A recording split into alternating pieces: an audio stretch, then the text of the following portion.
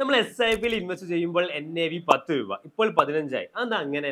എന്താണ് മ്യൂച്വൽ ഫണ്ടിൽ ഉപയോഗിക്കുന്ന എൻ എ വി അഥവാ നെറ്റ് അസറ്റ് വാല്യൂ നമ്മുടെ നാട്ടിൽ സ്റ്റോക്ക് മാർക്കറ്റിനെ കുറിച്ച് നല്ല ഐഡിയ ഉള്ള ആളാണ് ബാബു പുള്ളിക്കാരന്റെ കയ്യിൽ നമ്മൾ അഞ്ച് ഫ്രണ്ട്സ് ചേർന്ന് രണ്ടായിരം രൂപ വെച്ച് കൊടുത്തു. അതായത് അദ്ദേഹം ടോട്ടൽ കൊടുത്ത് പതിനായിരം രൂപ. എന്നിട്ട് പറഞ്ഞു സ്റ്റോക്ക് മാർക്കറ്റിൽ ഇൻവെസ്റ്റ് ചെയ്ത് ലാഭം ഉണ്ടാകും കിട്ടിയ പൈസയുടെ ഇടപാട് എളുപ്പത്തിലാക്കാൻ വേണ്ടി ബാബു അതിനെ യൂണിറ്റ് ആയിട്ട് കൺവേർട്ട് ചെയ്തു. അതായത് ബാബുവിന്റെ കയ്യിൽ ആകെ ഉണ്ടാകുന്ന തുക പതിനായിരം രൂപ. ഒരു യൂണിറ്റിന് ബാബു ഇട്ട വില പത്ത് രൂപ. ഓക്കെ സോ പതിനായിരം ഡിവൈഡ് ബൈ പത്ത്. ആയിരം യൂണിറ്റ് നമ്മൾ ഓരോരുത്തരുടെ കയ്യിൽ ഉണ്ടായിരിക്കുന്ന യൂണിറ്റ് ആയിരുന്നു ഇരുന്നൂറായി ഇനി ബാബു സ്റ്റോക്ക് മാർക്കറ്റിൽ ഇൻവെസ്റ്റ് ചെയ്ത് അയ്യായിരം രൂപ ലാഭം ഉണ്ടാക്കി. ഇപ്പോൾ ബാബുവിന്റെ കയ്യിൽ ആകെ ഉണ്ടാകുന്ന തുക പതിനായിരം രൂപ ഇൻവെസ്റ്റ് ചെയ്ത എമൗണ്ട് അയ്യായിരം ലാഭം അതായത് പതിനയ്യായിരം രൂപ.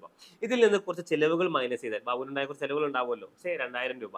ഉണ്ടാകുന്ന തുക പതിമൂന്നായിരം രൂപ. ഇപ്പോൾ ഒരു യൂണിറ്റിന്റെ വില പതിമൂന്നായിരം ഡിവൈഡഡ് ബൈ ആയിരം അതായത് പതിമൂന്ന് രൂപ. ഇതിനെയാണ് എൻ എ വി എന്ന് പറയുന്നത്. ഇപ്പോൾ നമ്മുടെ കയ്യിലുണ്ടായിരുന്ന ഇരുന്നൂറ് രൂപ നമ്മൾ സെയിൽ ചെയ്യുകയാണെങ്കിൽ എത്ര രൂപ നമുക്ക് ലഭിക്കും? നിങ്ങൾ കമന്റ് ചെയ്യുക. Thanks for watching see you tomorrow